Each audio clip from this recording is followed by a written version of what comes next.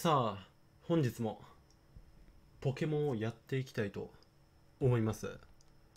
でまあ今日ポケモンやっていきたいわけなんですけど本日は皆さんにご紹介したいことがございます。で何を紹介したいかというとですねこちらですね。え皆さん何か気づきませんか？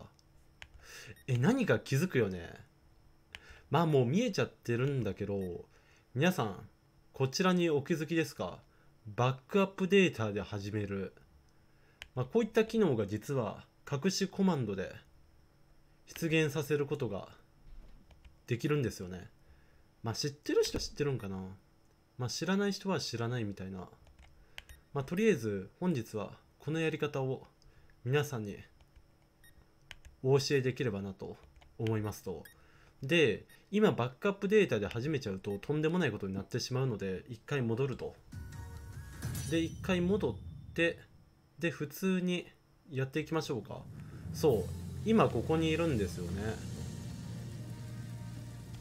で一回まあどこでもいいんだけどどうしようかな。あナックルシティでいいか。まあとりあえずナックルシティに飛びましょうか一回。でナックルシティに飛びましてで一回ここであー待てよセーブ。うーんどうしようかな。あーまあいいや。とりあえず一回セーブするか。でまあ一回この通りにセーブをしてで一回ポケモンセンターに入るか。で入ってで俺何か持ってたっけな？珍しいもの。何でもいいわ。あとりあえずピッピ人形でいっか。とりあえずピッピ人形を5個、まずは売りたいと思います。はい、まずは5個売っていくと。で、これからまあ手持ちにピッピが消えたかと思います。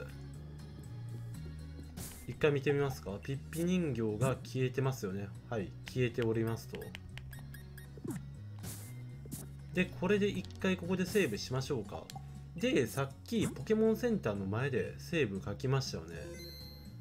で、これが2回目のセーブで、で、通常であればこのままリセットをすると、まあ、ここから始まりますよね。ピッピ人形5個失って、そしてポケモンセンターの中で、次のストーリーが始まると。まあ、セーブデータからか。まあ、始まりますと。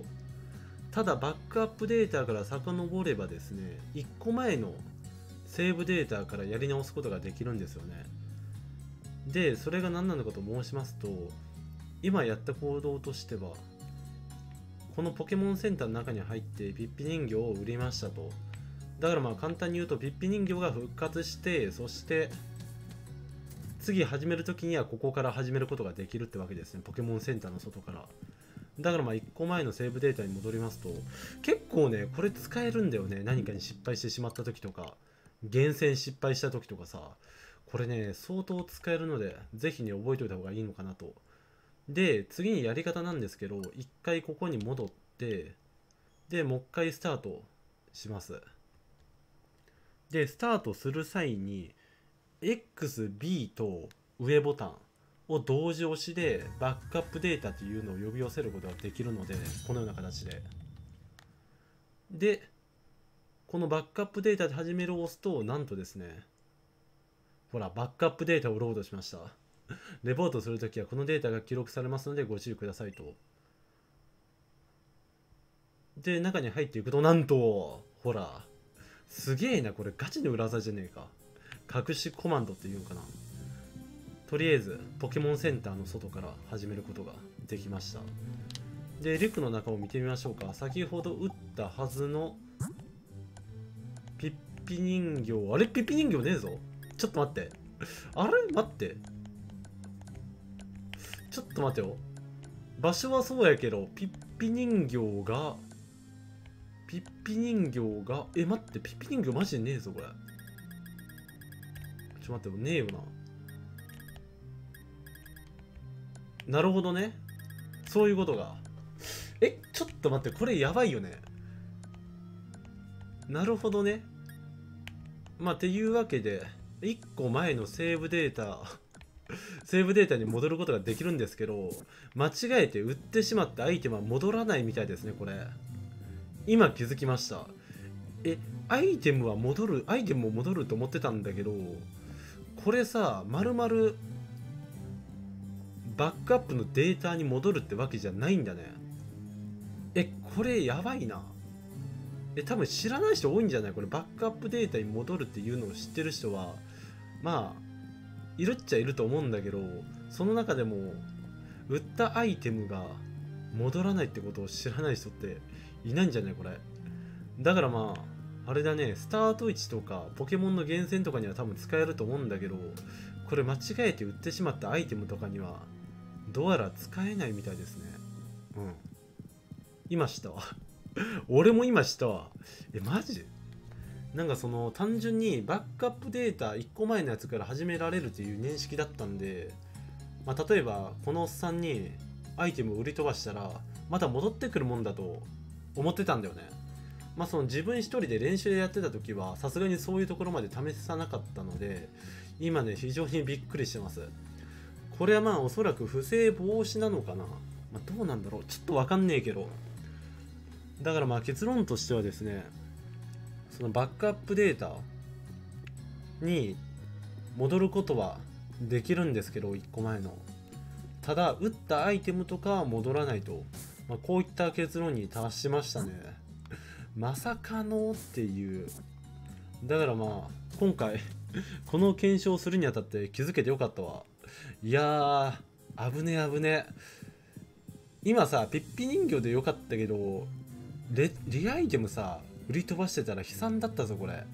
えまさか復活しないと思わないじゃん。あとりあえず金の玉ゲットしていく。なんでこんなところあるんだ。まあそういったところでね皆さん気をつけましょう。まあこちらはね日付変更バグとかではなくてまあ任天堂が正規で設けた隠しコマンドみたいなんでまあ隠しコマンドというか救済措置というかまあ何とも言えない話なんですけど まあとりあえずねこの隠しコマンドは結構ね汎用性が高いみたいなんで、まあ、ポケモンを厳選するにあたってはね。だからまあぜひね活用できるところは活用してくださいと。ただミスとかを挽回するっていうことはなかなかできないみたいだね。例えば間違えて売ってもうたとかアイテムを。まあそういった感じか。さすがにね1個前のセーブデータに丸々戻れればチートすぎるからな。失敗したら前に戻ればいいみたいな。ね。それももはやセーブの意味ないからな。はいっていうことで、まあ、さっきの続きなんだけどワイルドエリアに来ました。さあワイルドエリアに来たのでレードバトルでもしていくか。そうレードバトルをさっき繰り返してた時についでに気づいたんだよね。この隠しコマンドに。そうなんですよ。いいよねワイルドエリア。おこれはまた 200W ゲットしていく。てかみんな日付変更バグで使ってんのところで。やっぱ使ってるんか、ま、日付変更バグを使うと、まあ、木の実とかも無限に手に入れられるしワットも無限に手に入れることができるんで非常にね効率的ですよねあれ。てかさこのバグはマジで変更した方がいいと思う。でちびちびおお 2000W 来たね。ちょっと行ってみるこれ。行くか。行きますか。ちょ無限大内で行くか。ちょっと待ってその前にセーブ書かして。バタフリーか。てかさ俺まだバタフリー捕まえてなかったよな。まあ手持ち的にはいけるでしょ一人でも。無限大内で行ってくるか。はいまあそういったところでね本日の動画この辺りで終わっていきたいと思います。まだチャンネル登録お済みでない方がおられましたら、ぜひこの機会にチャンネル登録していただければ非常に嬉しいのでよろしくお願いいたします。ではまた次回の動画でお会いいたしましょう。バイバイ。あ、てか待って。バイバイの前に、もしこの後暇だったら、ポケモンの過去動画とか、あとは飛び森の動画も結構上げているので、まあ、そちらの方もご覧いただければなと思います。おすすめの動画に関しては概要欄に載せておりますのでそちらの方をご覧ください。じゃあ今度こそ。バイバイ。